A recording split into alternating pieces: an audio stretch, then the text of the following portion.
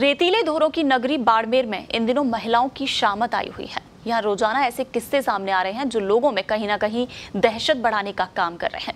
लोगों की माने तो कोई अदृश्य शक्ति है जो महिलाओं के बाल काट कर कहीं गायब हो जाती है। तो कोई इसे देवीय प्रकोप मान रहा है और कोई इसे असुरी शक्ति कह रहा है।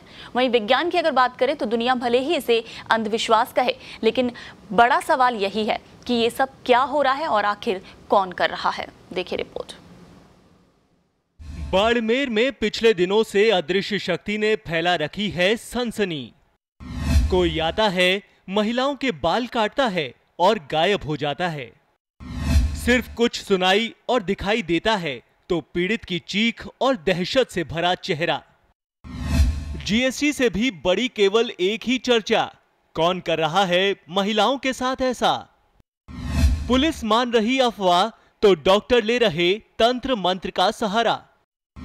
बड़ा सवाल, कौन खोलेगा अदृश्य ताकत का रहस्य? कैसे मिलेगी बाड़मेर के लोगों को इस डर से निजात? इन दिनों बाड़मेर परेशान है। वहाँ रहने वाले लोगों को अनजान साय ने खौफ जदा कर रखा है।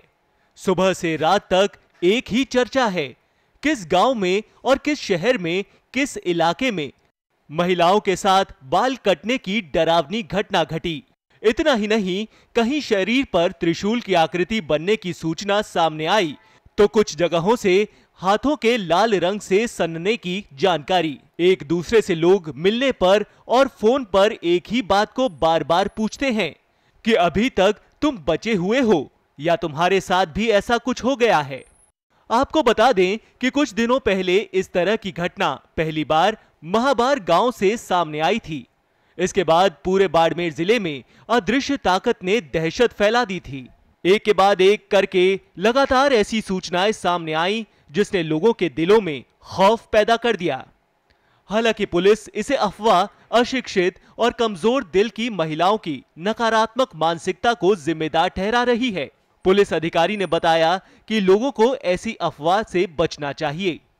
ये जो भी घटनाएँ हैं, वो अफवाहों के थ्रू बाड़मेर जोधपुर से जैसलमेर बाड़मेर की तरफ़ आई और इन अफवाहों से, सोशल साइड से, ये जो ग्रामीण पृष्ठभूमि की महिलाएँ हैं पढ़ी लिखी है, मानसिक रूप से मैच्योर नहीं है, उनको सर्कुलेट हुई। मैं आपके प्रेस के माध्यम से यह जनता को अपील करना चाहता हूँ कि इन अफवाहों पर ध्यान न दें। विज्ञान पर भरोसा करने वालों की बात माने तो ये किसी की शरारत है। वहीं ग्रामीणों ने बताया कि वे ऐसी घटनाओं से आहत हैं। आहट किसकी है और कौन ऐसा कर रहा है? ये जाँच का मुद्दा है। लेकिन बाड़मेर के लोग इस मुसीबत से बचने के लिए घर के आगे नारियल चढ़ा रहे हैं। अपने अराध्य से इस मुसीबत से दूर रखने के लिए हर तंत्र मंत्र का सहारा ले रहे हैं। बाड़मेर के जिला अस्पताल में इसी तरह की घटना की शिकार हुई बालेरा गाँव की महिला। वो आई तो उसने और उसके परिजनों ने क्या कुछ कहा? आइए आपको सुनाते हैं। से पकड़े। तो ऐसे पकड़े तो कि मेरे सामने, ये सामने। में।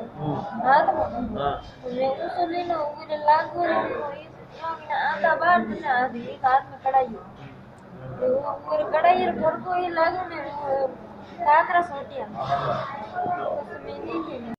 अब इसे अंधविश्वास कहें या लोगों का डर।